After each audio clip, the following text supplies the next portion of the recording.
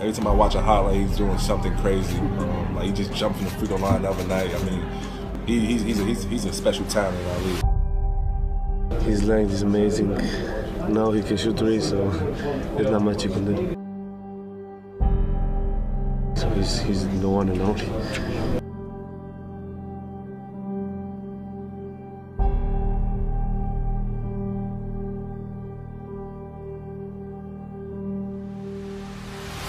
Years, basketball fans have been waiting to see who will snatch the crown as the best player on the planet. Well, I think we found him.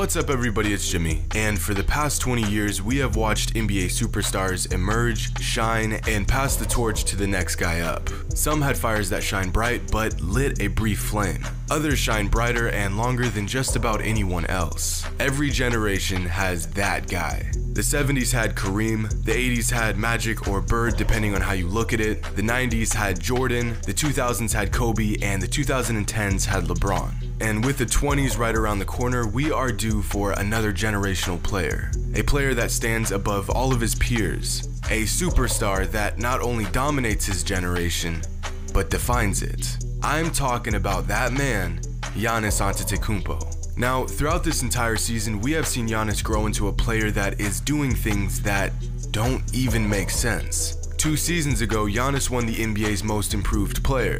And yet somehow he has improved his game this season by just as much as he did in 2017. In fact, every single season he's been in the NBA, his game has progressed so much that you could legitimately make an argument that he was the most improved player in the league for the last four seasons. But how does a guy go from averaging 16 and 7 with no All-Star mention to starting in the All-Star game to averaging 27, 10 and 5 while being the best defensive player on the court and still get remarkably better the next season?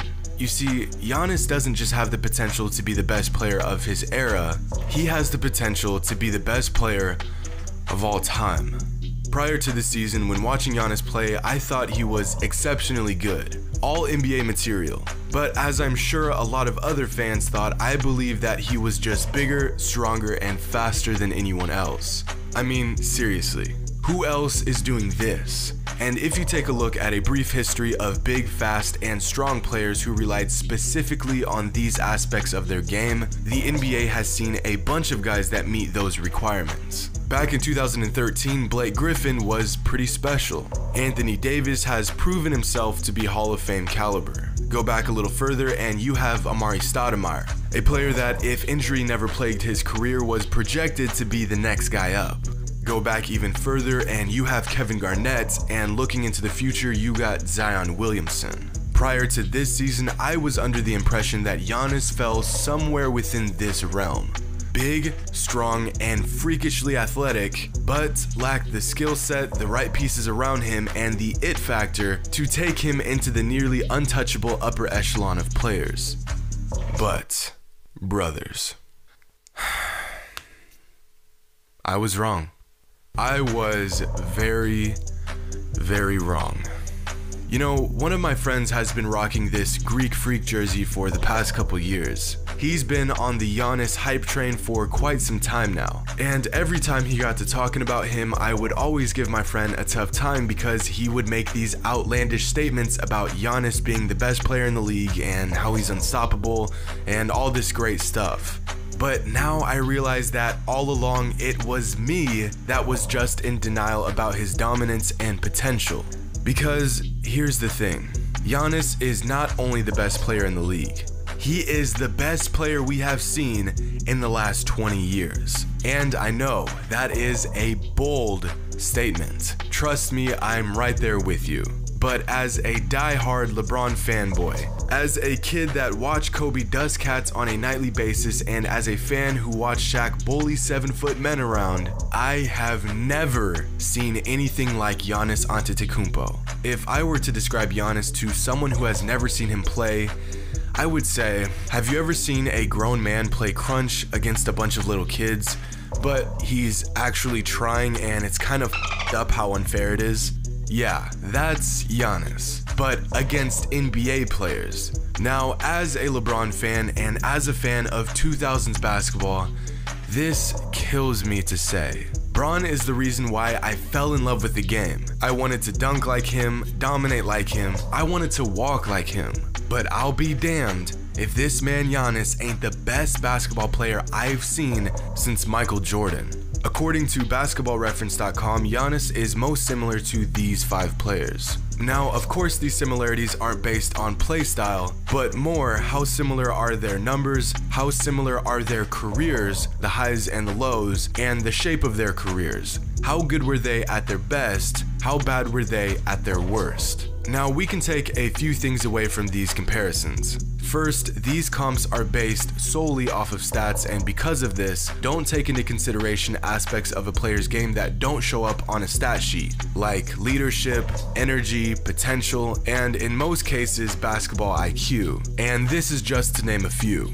For example, there is a lot more to defense than just steals and blocks. Giannis's presence on defense alone is one of his strong suits. His defensive IQ is also through the roof, but of course, there's no statistic for this specific skill set. And the second and most eye-opening realization we can take from these comparisons is that if we expand the comparable players to the top 10 most similar, only 4 of the 10 players on this list played in the modern NBA. The other 6 played a long time ago, in the 50s and 60s. Giannis is so different, so revolutionary in his playstyle and skill set that there is hardly any comparison to him in the modern NBA.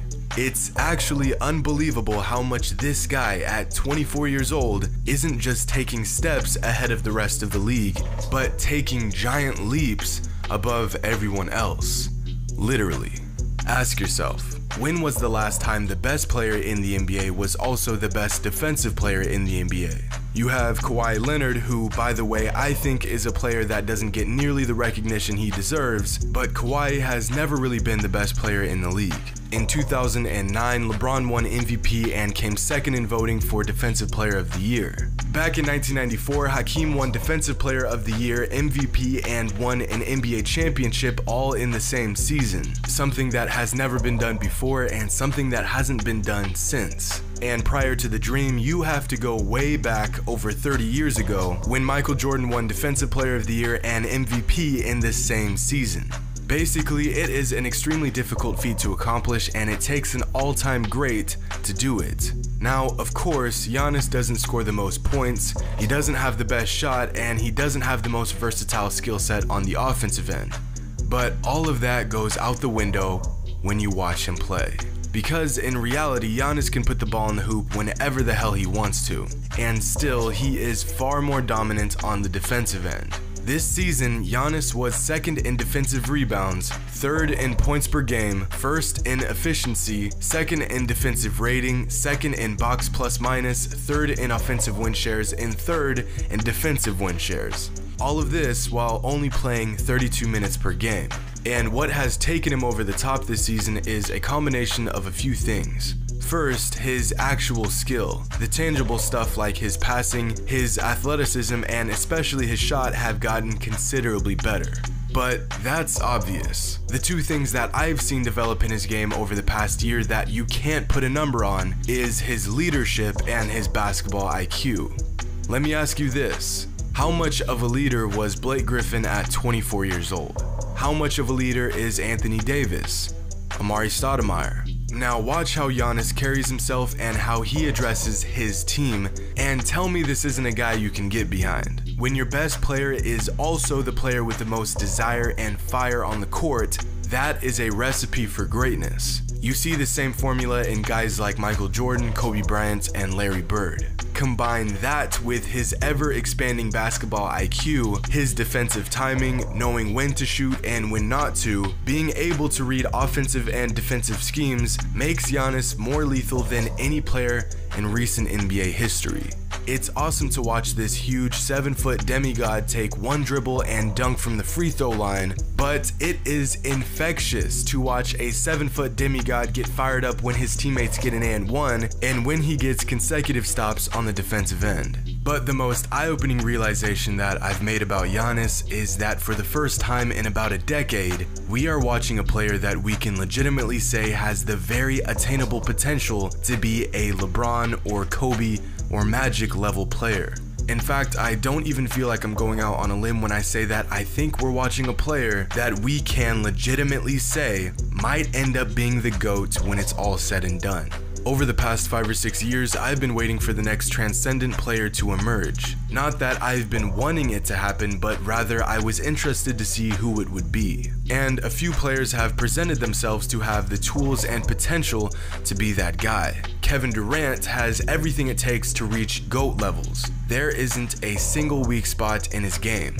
Except he lacks the mental toughness that some other greats have displayed and he made arguably the weakest move of any NBA superstar in history. For some time, I thought that Kawhi may be the next guy up. His game is actually strikingly similar to Jordan's. But again, I think that Kawhi lacks the leadership and alpha mindset to rise to that very top tier. Another player that had me in awe and still wows me every single time I watch him play is Stephen Curry. And although Curry is definitely among the most elite group of hoopers to ever lace up, I think that he has paved such a unique path for himself that he is more of a modern day basketball pioneer than he is the GOAT. These are all players that I thought might be the guy to not just take the throne as the best player on the planet, but the best player of all time. And although their stories aren't quite finished yet, I think we've seen enough to know what to expect in years to come. But with Giannis, at the rate that he's going, I'm genuinely excited to see where his ceiling is. Think about it like this these are the top 10 NBA players under the age of 25. Impressive list. But when you exclude Giannis, all 9 of these players have 5 All Star appearances combined. Giannis has 3 by himself all nine of these players have a combined one All NBA award. Giannis has three. In fact, according to basketballreference.com, the Greek Freak already has a probability of 8.2% of making it into the Basketball Hall of Fame. Now, that may not sound like much, but that is a higher probability than every other player under the age of 25 in NBA history combined. A few weeks ago, Shaq, another player that dominated the NBA, gave props to Giannis. But he didn't just give any props. Shaq said something that I thought I would never hear come out of his mouth. Take a look, Shaq, at the freak. Look at this, man. Oh. He's you, man. Shaq, he's you in there. No, he's better. When he gets there, he's you. better, he's better. Uh, no, he's not better. Uh, two. That, he's Oh. you in here, man. Better. Shaq, a man that would rather lie and sit in his misery than compliment another player, not only said that Giannis was good, he said that Giannis was better than he was at the same age. Some people say that Shaq was just trying to be nice, but to those folks, y'all must not know Shaq very well. And when you look at the numbers, it is pretty damn close. But again, it's that stuff that doesn't show up in a stat sheet that really does make a 24 year old Giannis better than a 24 year old Shaq. The leadership, the energy, the versatility on both ends of the floor, and again, the fact that he is still getting better every single season. The league has become a full blown shooters league over the past five years with no slowing down in sight. That is until Giannis exploded and said, fuck all that, I can be the best thing you've seen since MJ without even taking a jump shot. But even the best player in the world has his weaknesses. Giannis, although taking steps towards getting a consistent jumper, still isn't a solid threat from outside. And when I say outside, I mean anything outside of 15 feet. Of course, in this space, he's just one step away from an inside bucket. But in order to continue his growth as a player, he will have to learn how to rely less on his freakish athleticism and length and rely more on his expanding skill set. He has a couple moves he can go to off the dribble, like his hesitation, his spin move inside the paint, and a deadly Euro step he has really gotten down to a science. But more often than not, you'll see him just dive at the basket and simply go faster and higher than everyone else. See, he's able to do this because well, who's gonna stop him? But again, if he wants to continue to take his game to another level, he will have to clean up these moves, develop a more diverse arsenal, and learn how to go to these moves more often. And lastly, many claims regarding Giannis's outright dominance may simply be shrugged off because he hasn't really accomplished anything yet. Well, he has, but not anything that screams best player in the world. No MVPs, no scoring titles, no conference championships, no finals MVPs, and no NBA championships. Of course, he is still young and some of these may change very soon, but nonetheless, how dominant can a player be if he has no hardware? Back when a young LeBron was just starting to prove his greatness, people were skeptical of how much success he would really find in the NBA. Remember, it took him 5 seasons to win a scoring title, 6 seasons to win his first MVP, and 9 seasons to win his first ring. And this same criticism has been made towards just about every superstar in NBA history. For the first stretch of Michael Jordan's career, people often said that he was just a glorified scorer who couldn't lead his team to a championship. Go way back to the 60s, and people used to criticize Wilt for being a ball hog who was only concerned with personal accomplishments. But this is all part of the growing pains every great player must go through, Giannis included. So let this be a public notice that I am now 100% on the Giannis bandwagon. I know, I know, it's a little late, so excuse my ignorance. I now see the error of my ways. This dude is the real deal, he's everything we thought he would be and more, and he may one day be the best player to ever play the game. Hope you all enjoyed, and as always, until next time.